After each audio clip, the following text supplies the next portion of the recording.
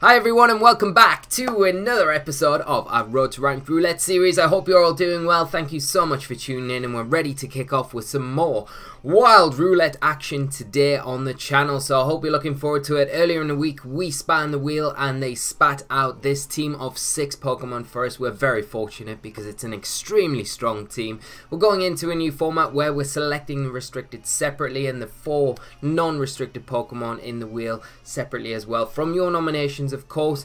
We have got as well access to our four bonus buttons in today's episode and for the rest of the week so we can activate those at any time that we want. We've got our legend maker, a randomizer, switch up and Patreon buttons. So I'm not going to activate any of them just yet, but we might after one match. We might just wait till tomorrow. But let me know which button you would like to see activated first obviously we can uh, you can check out the buttons down in the description what they are what they consist of and which one you would like to see. But I'm gonna sit on this team and give it a chance before we activate those buttons just yet. Very excited though to activate those buttons and see what Pokemon we can maybe add to the team to strengthen it make it a little bit better. At the minute we haven't really utilized the Oranguru very much so hopefully we can see a little bit from that. But if not then maybe that is a Pokemon that we think hmm Let's switch it out for something else, as sad as that would be. But on other news as well, we start off the week as a little appreciation and bit of a thanks from myself to all of you guys for the support. We're holding a giveaway for this lovely I Heart Flinch, Flinch Squad flat peak cap so one of you lucky people out there will be able to get your hands on this nice flat peak cap all you need to do to enter is leave a comment and leave a like on the video it's that simple and we will draw only one lucky winner next Monday on the channel so get your get your entries in just leave a comment down below leave a like that's all you need to do so the team as always is down in the description below there is a roll paste PokéPaste let me know what your thoughts are about it try it out if you do definitely let me know and uh, without further further ado, the music is on. We've got everything set. Let's get into it, guys. So, I'm looking forward to trying out this team. I'm a little bit sad, you know. I recorded an episode prior to this one. And the video file is corrupt, so I'm gonna have I'm having to do this episode again. Let's kick off with league title defense, which is a little bit sad. So the rating is a little bit wonky from what it was. I've I've just had to leave it as it is. It's a real shame because we've had two really good games where I can't really count because they were both wins. Um, but never mind, we'll carry on. The goal to get into 1500 by the end of the week is looking more and more possible, so hopefully that does happen and we'll get into this first one today. Hopefully it doesn't take too long to find our first opponent, but if it does, it does. There's lots been going on, hasn't there? There's been some more Sword and Shield news, and I keep saying I'm going to do more Sword and Shield content. Now I need to get this out ASAP, so next week at the earliest I'll get this done because otherwise I'll fall behind and it'll feel like, well, why is he putting this content out with this three week old news? It's pointless. So what I'll do get a video out for next week. We'll talk about the stuff that was released yesterday, which is very exciting, and some of the other stuff that I haven't touched upon yet. And dare I do it, touch on hashtag bring back the national Dex and give my opinions on on that uh, topic as a whole, because it's it's an interesting one, so to speak. But I've got my own opinions on it. but we'll leave that for another time. We've got Goku, Son Goku, up for our first opponent. So let's hop into team preview. Um, if I can even do it. There we go. So what's the Super Saiyan got for us to start us off with today? We've got Milotic, we've got Whimsicott, Incineroar, Groudon, Xerneas and Landorus. So we've got double ground types on this team with a restricted pairing of Groudon and Xerneas. Very strong restricted pairing in this format as we know. Then we've got the supporting cast from Incineroar, we've got the Fake Out support, we've got the U-Turn support, Intimidate support, we've got some crazy background noise going on. I'm going to have to shut my window in a minute, so I'm sorry about that if it's bleeding over. Whimsicott, speed control there, we've got to watch out for the Milotic, obviously, with Snarl particularly on our side of the field because of that competitive ability there. Right, what are we going to do? It's obviously got speed control as well, uh, I would imagine. I'm going to lead off with Purugly. Do we go with our Xerneas, though? Hmm because hmm hmm not too sure not too sure because the Whimsicott kind of puts me off going for the the z the z geomancy because of the encore there we don't really have too many other ways to deal with Whimsicott. i mean Yveltal with oblivion wing of course is a nice way to get around it um Kind of tough though, isn't it? I'm gonna make a decision. Gotta make a decision. Uh, I'll go Yveltal, I'll go Xerneas, and I'm gonna bring Mega Banette to this one. Let's get into it. And I'm just gonna, I'm just gonna literally run and close this window because it, feel, it sounds like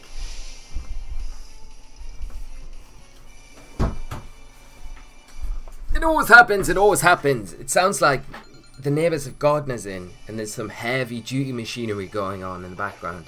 Always happens. I It's a hot day, come into the studio to record. I open the window, I'm like, ah, it's all airy. And then there's either a dog barking, the neighbours have the gardeners in, someone's doing work. I can never win. I need to record at like 5 o'clock in the morning. Then I'll be waking everyone up. Never mind. It, eh, you'll probably be like, there was no noise bleeding over, but there might have been, so I've just got to be safe. So we're going to see Landorus, we're going to see Incineroar come out. Man, are we getting Defiant boosts all over the shop? Double boosts. Crazy, crazy man. We're plus two with Purugly, is that right? Plus two? Yeah, plus two. So we're sitting pretty nice at the minute. Um, okay. Uh, okay, okay, okay. Let's fake out the Landorus and, um, hmm. Do I keep Yveltal in? I mean, Yveltal right now isn't really doing too much. We could foul play the Landorus. It's likely it could protect, though. Uh, I'm going to bring in Xerneas. I feel like if we get Xerneas out into the field, can maybe go for a Z Moonblast or Z Geomancy. It would be wild and go for a Z Dazzling Gleam, but there would be no point in doing that, so we'll probably not do that. So let's see, plus two Fake Out. What's the damage like? Man, it's not bad, is it? Fake Out. Ooh, faking out the Purugly breaks our sash, which is a little bit unfortunate. Um, hmm. Do we go for the Z Geomancy here? I feel like it's a good chance because I think uh, a Giga Impact will will get the Landorus for sure. Let's do it. Let's do it. I feel like if we've ever got a time to do it, it could be a good time. The only problem would be the Incineroar having Roar, which would not be good. Giga Impact plus two. Bada bing, bada boom. Bye bye, Lando. See you later, my friend. Right. I always feel a bit risky going for this Z Geomancy, you know. It's always like, oh, the Power Herb's just better, isn't it? I think we need better support. We have got the Banette in the back, so it will, will help us out. It's just getting through this additional turn. It's like doing a, a good old fashioned conventional Geomancy without the Power Herb but then getting the Z kind of boost extra for it. So we're just going to say Flare Blitz from the Incineroar, that's fine. Okay, into Xerneas. Not doing too bad damage. And no burn, so we're fine. So let's see what my opponent brings in. We're completely... We've got no buttons to press this next turn. Nothing. Purugly has to recharge. Xerneas has to charge up. Ah, and the Whimsicott. Of course the Whimsicott comes in. No! Can you Encore a Z Geomancy though? Because it's like it, it is a Z move, right? It is. We've literally we go on pressing buttons. There's a tailwind. Um, I guess one thing we could potentially try and do is uh, protect Xerneas taunt Purugly, depending on what what this this Incineroar does. Then we can stop an Encore, I guess. Snarl taking us down to plus plus two. So that's not too bad. That's not too bad. I don't mind that too much. I don't think the Incineroar... Oh, but we do get the additional boost. So tempting just to fire off another Giga Impact. Plus three. Okay, uh, let's go for the taunt into the Whimsicott. I mean, the, the worst thing that can happen here is the Whimsicott doesn't encore Xerneas and attacks at Purugly. And then, and then we got locked into encore the following turn which wouldn't be ideal. But let's see what our opponent does. I think you probably want to go for the encore, to be honest, into the Xerneas here. When you've got access, you've probably got access to it, right? You've got access to it. Ooh, Incineroar, Reveal and Protect. Interesting. Hmm. Fake Tears. Okay, that's fine. Really don't mind that because now we're in Golden Land because we've um, wherever Golden Land is, but it's a good place, and I'm right there right now. Uh, yeah, we can go at uh, Giga Impact. Do I waste a Giga Impact? Do I? Uh, I mean, we we'll we'll just do it anyway, and we'll go for a, a, a dazzle. Yeah, Because the Dazzle and Giga Impact should be enough to get the Incineroar. But plus 3, I mean, with Purugly. We sh still should add speed. Ooh, Grass Knot coming out. Uh, Purugly, can you take it? Come on, Purr. There we go. There we go. We don't miss. Oh, that's good. So, bye-bye, Incineroar. That's great news for us. Okay, what's coming in? Uh, did my opponent have Xerneas? I think they did. I think they had Groudon and Xerneas, right? Pretty sure.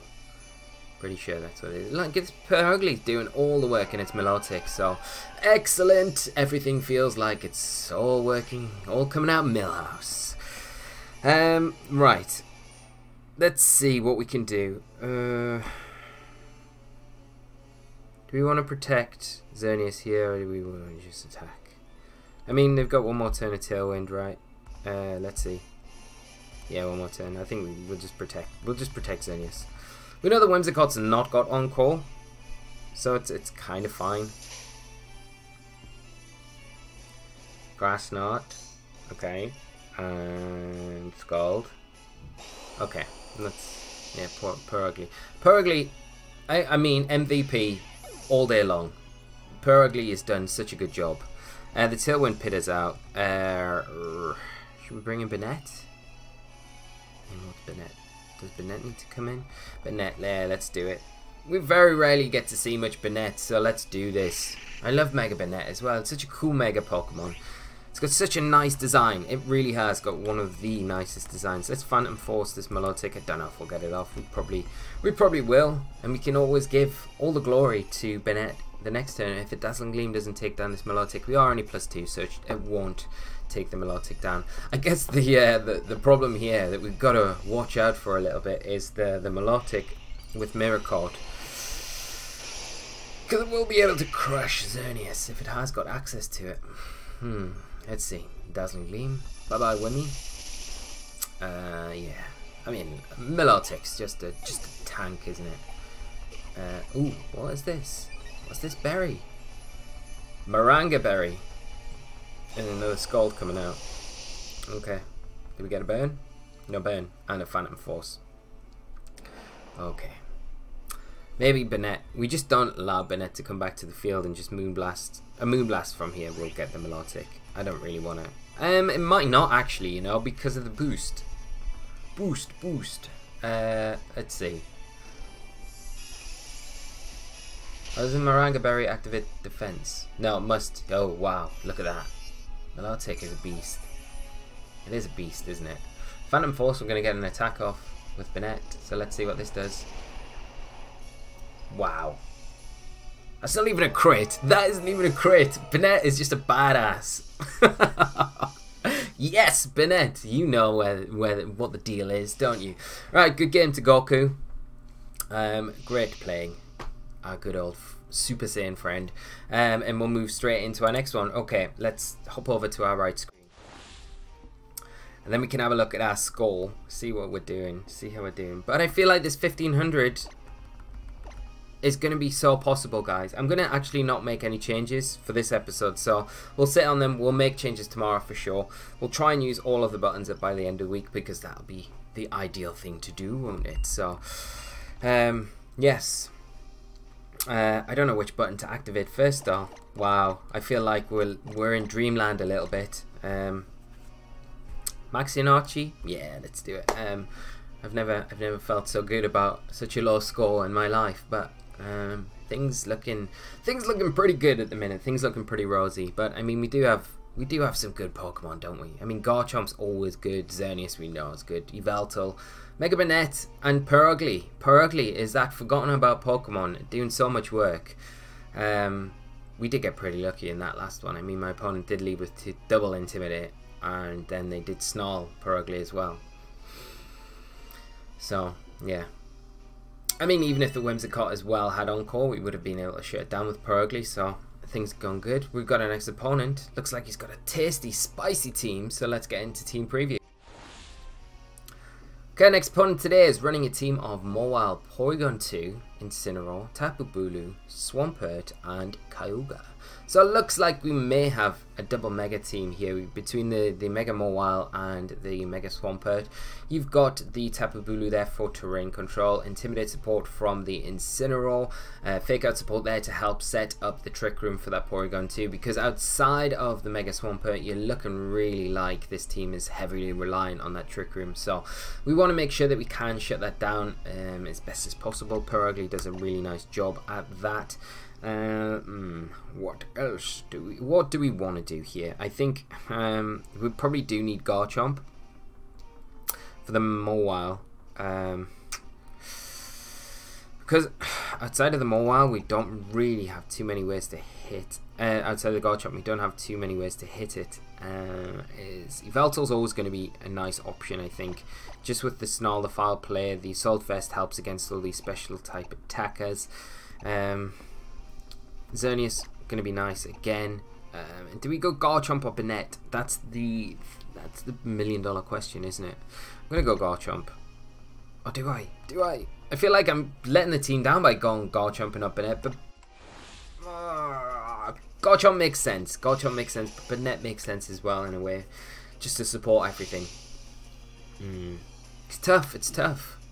It's always good when you've got a team, I think, where you're really struggling. Well, I say it's good when you're struggling to find that four Pokemon you want to bring every time. It's not really that good. It should be really straightforward for you against the matchups that you you should know inside out. But when you've got teams like this, I mean, it, it, I feel like it's a good thing being a, being struggling, not which Pokemon to pick. The only one that I'm not really ever considering is the Oranguru. It's a little bit sad, but I do love Oranguru, but it just doesn't really suit this team very well. I'm going to see Porygon 2. It's going to download, get that attack boost, and then uh, the Tapu Bulu come out as well.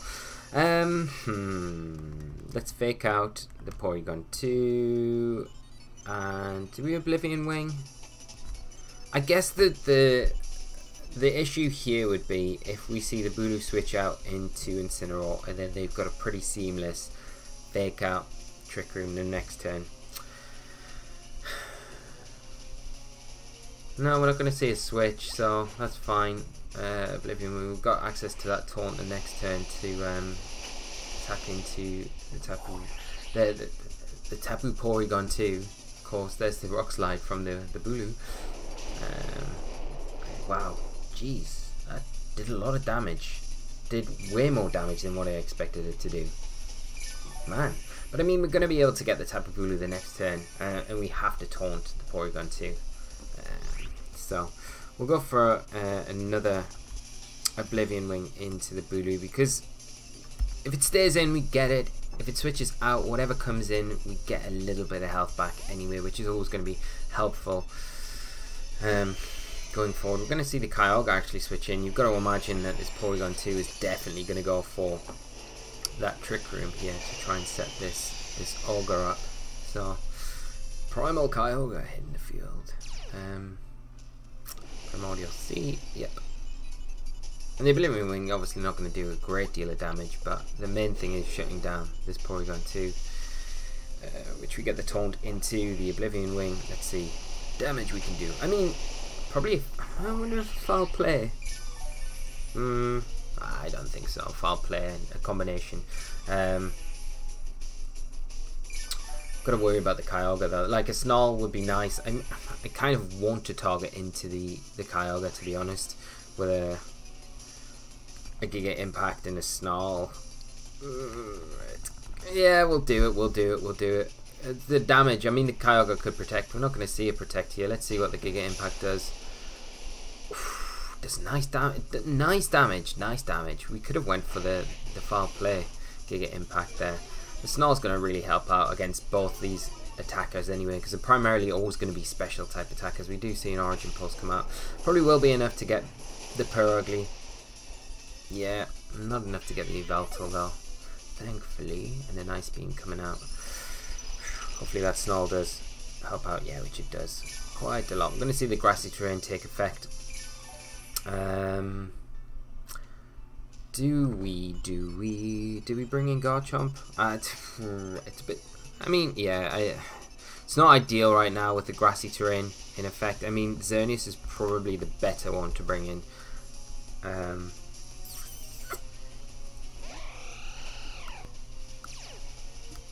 we could kind of maybe smoke out the Mawile if it comes in. This is why I don't want to go for the, the, the Z. Um, I'm going to go for a Z. Like, I don't want to go Z Geomancy because I think the Mawile comes in. If we do that, then we're locked for the next turn. The Mawile has pretty free time picking off the Xerneas, which you don't want. Just wondering whether a Snarl will be enough to get the Kyogre. Um, whereas an Oblivion Wing would be probably better just to guarantee we get the KO there. And we're not going to KO the Porygon 2 for sure. There's no way we do. Not even with Z Moonblast. But I think it makes better use of um, the Z move than... Okay, Tapu Bulu kind of coming back onto the field. I wonder if the Mawile's even being brought. Because it was Swampert, the other Mega, right? Yeah. Porygon 2 is not going to be taunted for that much longer as well. That's the other thing we need to keep in mind. Uh, and that might make things a little bit more difficult for us. Look at Xerneas floating through the sky doing all the all the stuff. Wow. Holy what? I can't believe it did that much damage. Man. That's redonkulous. Wow. Okay. I didn't realize it would do that much damage. that is powerful. Foul play coming out from the Porygon 2. Fortunately not going to do too much damage to us. Does recover a little bit of damage. I think it's a Moonblast range. Taunt wears off now, but we'll be able to pick it up with another Moonblast. Now, what comes in? Kyogre? No, more Mawile. Mawile. Hmm. Hmm, Mawile. Mawile this, more Mawile that. Uh, okay. Not ideal. Will a foul play get this Porygon 2? It did get the attack boost, right? Yeah, I think a foul play off the back of that will be enough. I'm going to switch... Oh, do I switch in Garchomp? Hmm. Yeah. Do I switch in Garchomp or do I just go Moonblast into the... Hmm. I might just Dazzling Gleam. I don't really want to switch Garchomp in and take a Play Rough or an Iron Head. I think I need to keep I need to keep Garchomp for later on in the match. Uh, it's kind of important, especially with the grassy terrain going to be running out soon. Mega Mawile going to Mega Evolve. And the thing is, by switching Garchomp in and we take Iron Head damage, it could potentially put us into Sucker Punch range, which I don't really want to um, want to do. So the Dazzling Gleam going to go off first. We're going to pick up the Porygon 2. So we'll get at least a foul play into this, this uh, Mawile, which is good. Um, Kyogre's in range from anything. The foul play doing nice damage actually there. Rock Slide coming out. Will take down Yveltal. Um, and yeah, Xerneas coming back in. Okay, well, I mean, it's still fine because Garchomp Stomping Tantrum should be enough to actually get the Mawile regardless now. Um, and a Moonblast will be enough to get the Kyogre. So we should be able to pick up another victory, which is Excelente! And that would mean we've done it twice this week where we get two losses. I'm not going to get ahead of ourselves right now because something, unbeknownst to myself, could go terribly wrong. Uh, although it feels like it's pretty set in stone right now. Feels like it's done. Um, but if we can pull off two wins that again this week, I mean the team's done it two days in a, in a row now. Let's go for a Moonblast. Let's go for the Stomping Tantrum into the Mawile which is that should be enough, um, and we should be able to lock this one up. The Z Moonblast, way better, way better than that Z Geomancy, isn't it? Kyogre going to protect this turn. Hopefully, hoping the Mara, the Mawile will be able to do something. Hopefully, this is enough. Um, yeah. You know when you, you think it's definitely enough. If you asked me that a million times over, I'd be like, yeah. But when you're in that situation where you're like, huh, there's the doubt starts creeping into your mind because it's so pivotal that you pick up that knockout. I don't know if you guys do this, but I always do. I'm like, hmm, is that actually enough? Like Kyogre now, is Stomping Tantrum enough to get the Kyogre now? You know for a fact it is, but there's always that doubt where you're like, hmm, maybe it survives. There's no way it survives. No way. But very good game to my opponent. Great couple of games today. Your team's just doing so much work. It's uh, it's it's refreshing. I'm really having a great time. I hope you are as well. Um, I think tomorrow we'll activate at least a couple, if not three, three bonus buttons because we've only got two days left with this team so mixing things up for the end of the week might be nice. Um, and remember guys those of you who have stuck to the end there is this giveaway for this lovely hat this week. So all you need to do is leave a comment down below leave a like and you will be entered into the draw that we will do on Monday next week revealing the winner of this lovely hat. So thank you so much for tuning in. I hope you have a great rest of your day. Hope you've enjoyed today's episode and I'll look forward to catching up with you all on our next one very soon. So until then take care and bye bye